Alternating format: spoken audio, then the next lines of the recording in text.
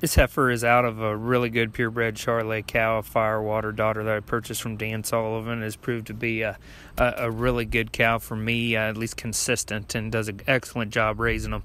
Um, but th- this heifer is tremendously stout. Uh, she's big bodied, she's got some muscle, she's very sound and trustworthy in the structure department. Uh, obviously, she could be a little neater and cleaner up there through her front end, and she's not the biggest haired one in the world, but uh, just one that you can really trust uh, as far as a cow long term structurally, and if she uh, if she's anything uh, like her mother in the maternal department, she'll uh, she'll make you money down the road.